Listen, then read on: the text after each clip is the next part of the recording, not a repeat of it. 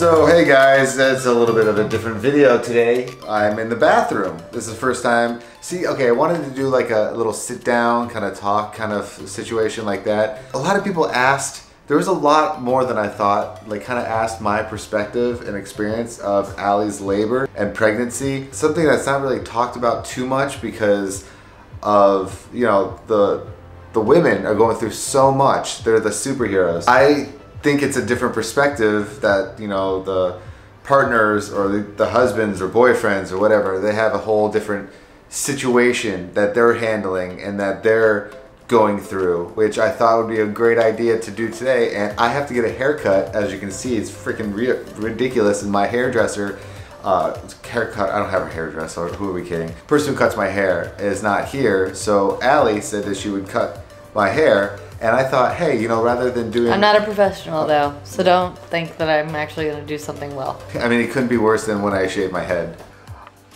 Oh!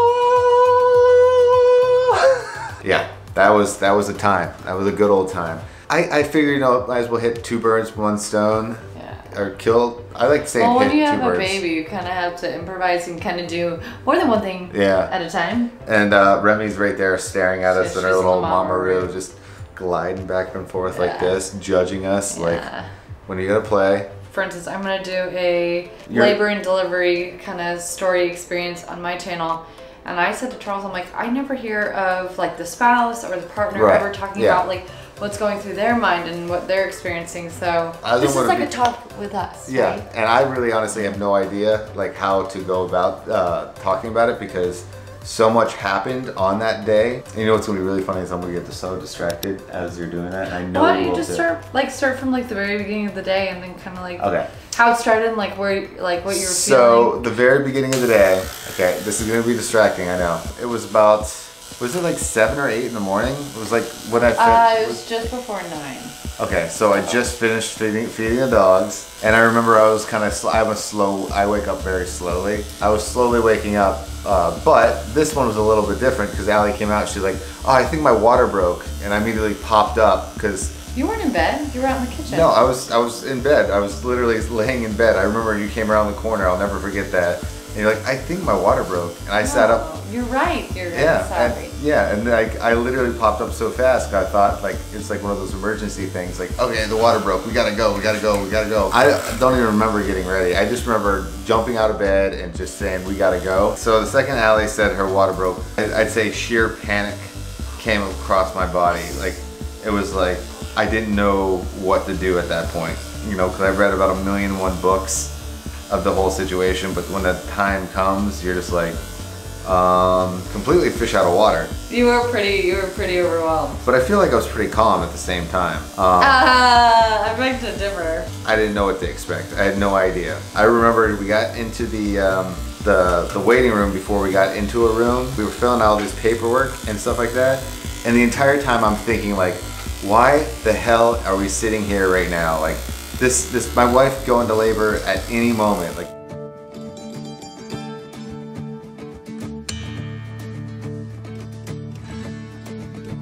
we're sitting. I was in labor. Well, I guess that's something I learned. You thought about like giving birth, maybe. Can, yeah, giving birth like at any second. We don't want to do this next to the vending machines where Fritos are mildly panicking. There. Did you fill? I don't even remember if I filled out the paperwork or I did. you did. Okay, see, I don't even remember that. After what felt like freaking forever. There's a lot of gray hairs in here now. They finally moved us into a room. Was that the same room you gave birth? No, so the first room was they wanted to make sure that my water broke and they wanted to check everything before they moved me into a labor and delivery room.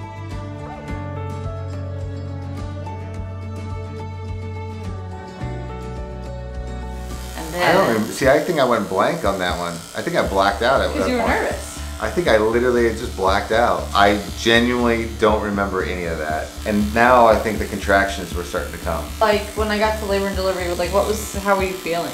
I was confused because then you started having these pains. I, I don't like to see, last time I ever saw Allie in any form of pain was when she had dengue. Angel. Baby, I'm covered. Angel, Booth. You put the pacifier on the wrong side of your face. Remi's so funny when she doesn't want it, she just goes, just shoots it. Like she's good at like shooting pacifiers. across the room. Yeah, she's a projectile spitter upper too. Yeah. Oh yeah, the, Allie got that. The entire time, I think because I was like having these blackout moments where I didn't really know what to do because honestly, the nurses and midwives, they they take care of everything. So at that point, I'm they just were awesome. they were amazing. So at this point, I'm just sitting there with my thoughts the entire time. I was like overwhelmed, and I don't maybe because he maybe couldn't see it. I don't know, but Charles really kept it together and kept me calm, and he was very present in the moment about how I was Externally. feeling and like yeah, but, but that, internally, that, I'm just like okay, like just things just going crazy in my brain at that point. But externally, I knew I had to be like the kind of uh, the rock or the the, mm-hmm. the calm person because I wasn't going to be the one shooting at a baby at my lower end.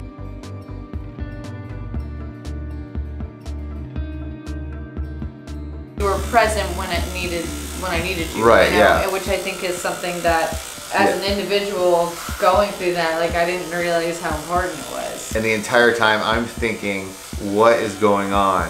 I'll be honest, like all the books that I've read, I was just expecting Allie to want to bite my face off. You know, like you see all those movies where it's like, get off, you did this for me, and stuff like that. I genuinely thought like that's what labor and uh, delivery was going to be. But luckily, Allie was incredibly calm. Oh, thanks. All right, before you continue, I need to get your hair wet. Okay, so you have to, ow! So you had hair in your face.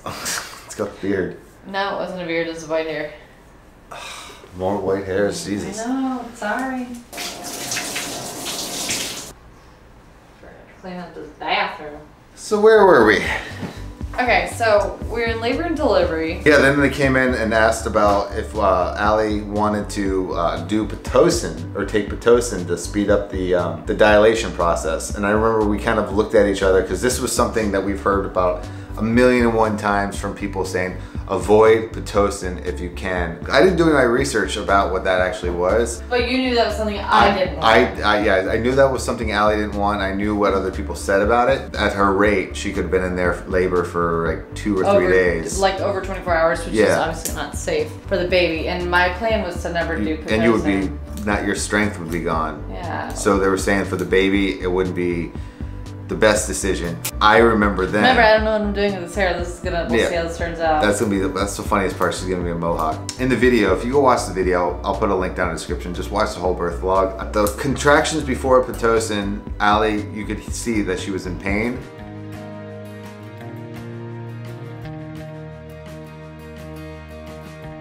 But once they administered the uh, Pitocin,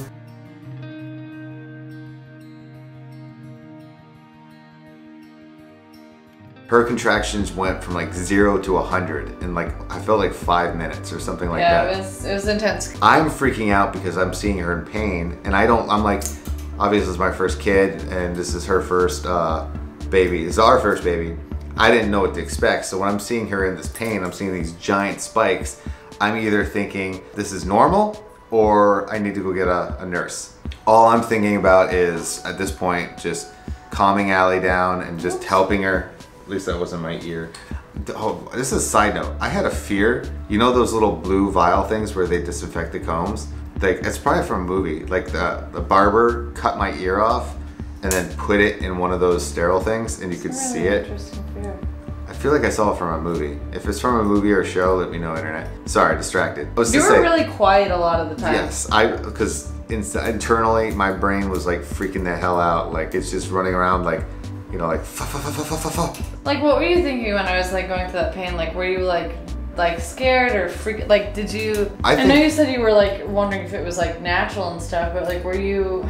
I like. I think I was a little bit nervous. You were really quiet.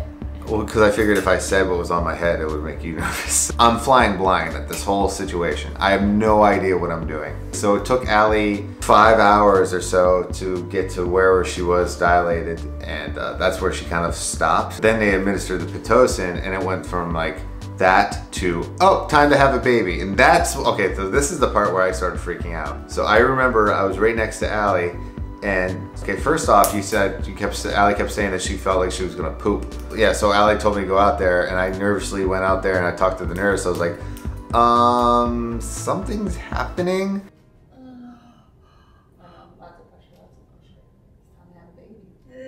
Oh wow! Look at that. With your next contraction, we're actually gonna try to push and see how well you do. You know, you got this. This is amazing. She comes in and she looks and she goes, up, oh, baby time. And then that's where things got a little crazy because lights went on, mirrors came down, people swarmed the room. So what was that moment like for you? The thing is, it's normal to be nervous. Like, who's not nervous about pushing baby out, right? You know? That was like tunnel, like.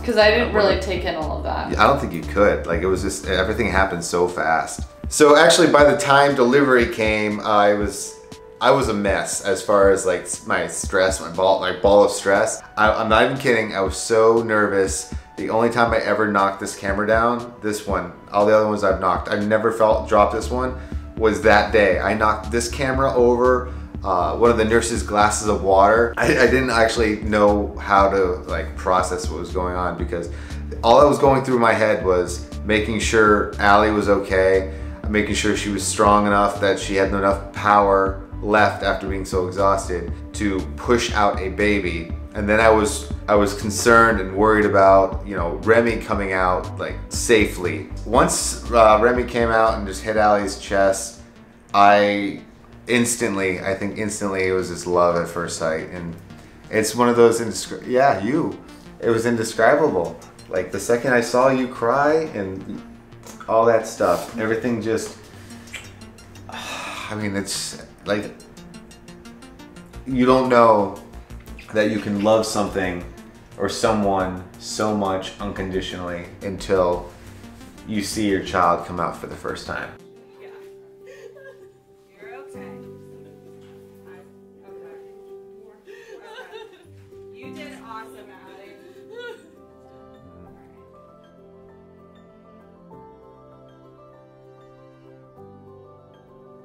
This little one right here is the most crazy thing I've ever seen and done in my life. Yes, you. But yeah, guys, that's just kind of how I felt, or like the little bit of my brain. Jumbled emotion. Jumbled emotion. Yes, that's this video, and that was my my experience. His experience, um, from my point of view, was it was beautiful. He was, was, very put together, but I could tell that he was overwhelmed and. I'm very. But I could tell you that when she arrived and we were both just sitting there together and sitting with Remi, you were, there was just something different. It yeah, was like a just, switch flipped on you. Yeah, you know? it's I it's indescribable. That's that's pretty much the best way to describe you it. You have hair all over. I have hair all over. Anyway, guys, you can cha- you can change and hold this baby. Are you gonna do your your? I think Allie's gonna do hers on her channel uh, this weekend.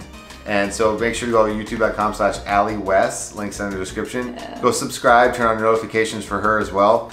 I have the dad joke video that I'm still gonna work oh on. God. I'm trying to figure out if you guys have the best dad joke, because this has to be the best one at the very end of the video that I'm gonna oh, actually, bless you. Angel. That I'm going to uh, tell her. That's how I wanted to do it, and I'm gonna tell her the dad joke. And that's how we're gonna end it. So I need you guys to give me the best ultimate dad joke, and we can put that in there. Anyway, I will see you guys in the next video and don't forget to subscribe and notification bell and all that fun stuff and like the video and whatever. I don't know what else is on YouTube, but you're overwhelmed with emotion. I, exactly. All right, I got a haircut. Now I'm gonna go uh, go show it off to the world. Allie did a pretty good job, right? All right, bye guys.